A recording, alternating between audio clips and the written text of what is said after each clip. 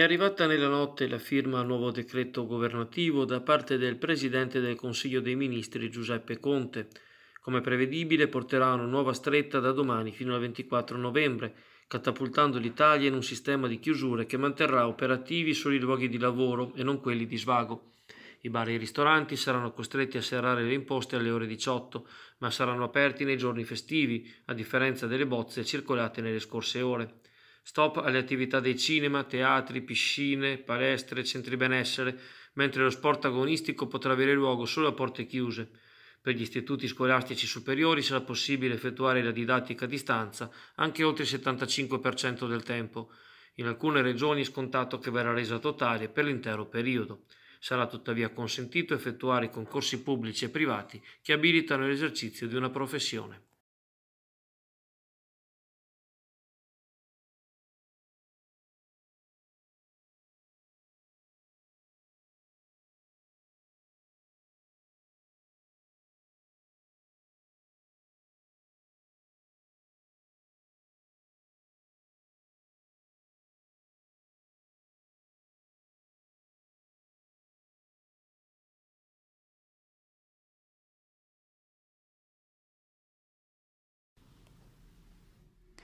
Sono stati oltre una decina stamane i volontari dell'Associazione Amico Giardiniere che si sono ritrovati all'Isola dell'Unione per la prevista pulizia delle aree verdi e di quelle circostanti.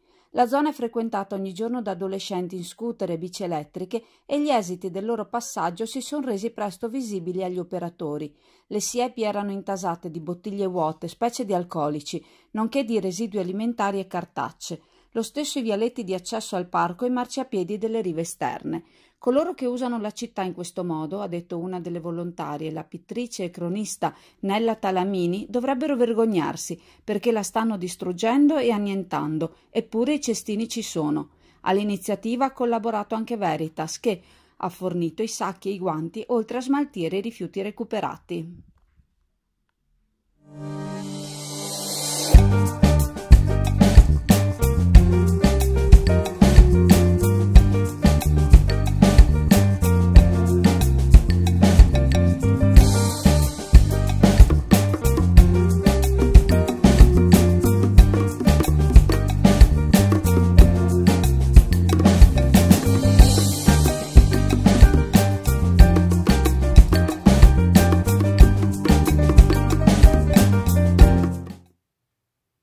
Incidenti hanno reso critica la circolazione ieri sera lungo le strade periferiche del territorio clodiense. Il primo torna alle ore 19 nei pressi del ponte che attraversa l'Adige, in località Volto di Rosolina. Una delle vetture stava cercando di passare dall'altro lato della carreggiata, nonostante la scarsa visibilità a causa del buio, della foschia e dei lavori in corso. In quel frangente, in direzione Ravenna, proveniva un'altra vettura e vi è stato l'impatto, che ha provocato una lunga coda di auto ferme fino al semaforo di Sant'Anna. Sono intervenute le ambulanze di Adile e di Portoviro, mentre la pulizia dell'incrocio e il lavaggio dell'asfalto sono stati opera della carrozzeria Chieregato. Ieri sera, poco prima della mezzanotte, una Daewoo Matiz ha provocato un tamponamento lungo il ponte translagunare delle Trezze, nelle vicinanze del semaforo del cantiere, in direzione Venezia. Le auto che la precedevano avevano rallentato per il rosso all'impianto. Uno dei due occupanti del veicolo tamponante era rimasto incastrato nella carrozzeria con problemi respiratori, l'altro in stato di shock e col volto screziato dal sangue. Entrambi sono stati ricoverati all'ospedale di Chioggia con diverse fratture, l'uno agli arti e l'altro alle costole, ma non sono in pericolo di vita. Sono intervenuti i vigili del fuoco, i sanitari del 118 e i carabinieri. I due occupanti dovrebbero abitare nel condominio pubblico di via Barbarigo 101 e sarebbero i responsabili dell'incidente. In terzo scontro invece ha avuto luogo a Cabianca, al bivio tra la strada Rebosola e via Palade.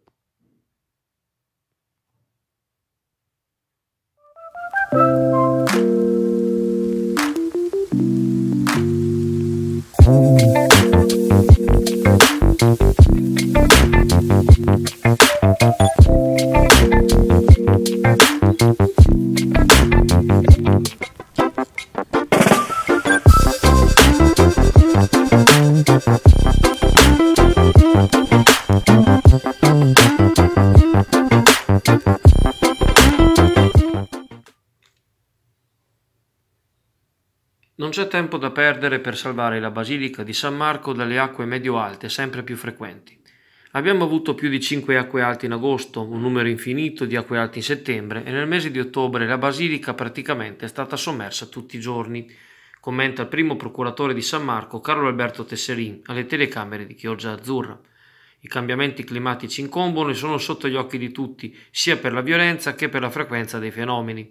Questo comporta, continua Tesserin, che se prima le acque alte che si alternavano a condizioni di maree normali consentivano che la salsedine venisse un po' alla volta eliminata dall'acqua dolce, adesso questo non avviene più, per cui tutti i marmi e i pavimenti che abbiamo in Basilica si stanno sgretolando con una velocità incredibile e bisogna provvedere obbligatoriamente. Per trovare una soluzione condivisa a questa sfida contro il tempo, le realtà da conciliare sono molte, ma ora la mediazione non può più attendere. Pochi giorni fa infatti si è svolto l'atteso vertice in modalità online tra tutti i soggetti in campo per la difesa di San Marco.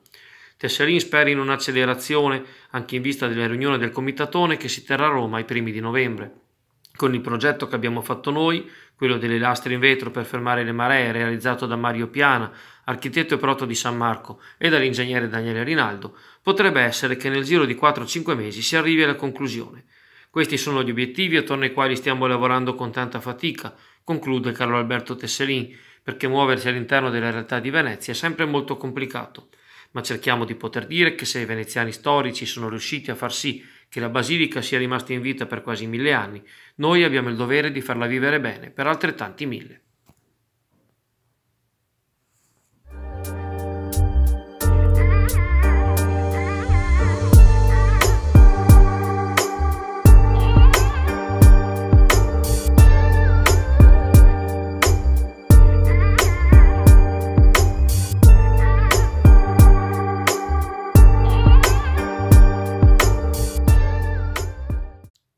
Inizia contro il Trento nell'incontro casalingo di oggi allo stadio Ballarin, il via alle ore 14.30, l'avventura di Antonio Andreucci sulla panchina dell'Union Clodiense. Il tecnico lucchese è subentrato martedì a Mario Vittadello, sollevato dall'incarico dopo le due sconfitte di Porto Tolle e Sant'Ambrogio e il pareggio interno con l'Este. Al nuovo allenatore il compito di riportare entusiasmo e rincorrere la vetta, dove ora staziona proprio il Trento in compagnia della sorpresa Mestre. Dall'infermeria giungono notizie non univoche. Recuperati Ferretti e Gioè, che si sono allenati per tutta la settimana. Mancheranno invece gli infortunati Biolcati e Gertù. Il Trento, allenato da Carmine Parlato, seppur neopromosso, è una corazzata costruita pezzo per pezzo con l'obiettivo della promozione in Serie C. Ai confermati Pietri Biasi e Caporali, che Andreucci conosce bene per averli avuti alle sue dipendenze a Campodarsego, si sono aggiunti Osugi, Aliu, Ferri Marini, per un complesso che ha veramente pochi punti deboli.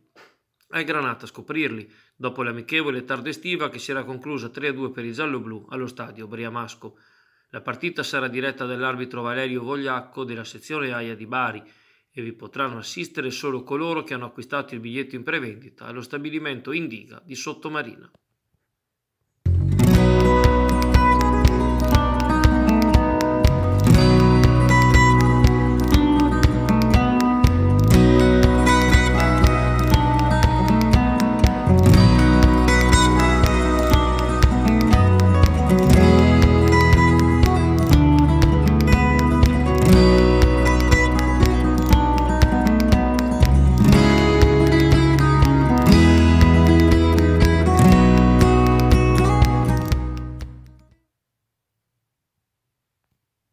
Inizia oggi pomeriggio la 46esima stagione concertistica della Gioventù Musicale d'Italia a Chioggia. Dalle ore 17.30 all'Auditorium di Calle San Nicolò si esibirà il quintetto Verona Concentus Ottoni in un repertorio dalle opere di Rossini, Verdi, Mascagni, Puccini, Rotta e Morricone. Sul palco le trombe di Fabrizio Mezzari e Roberto Igo, il corno suonato da Stefano Rossi, il trombone da Lorenzo Rigo e il basso tuba da Antonio Belluco. I biglietti costano 5 euro e saranno disponibili alla cassa dell'auditorium prima del concerto.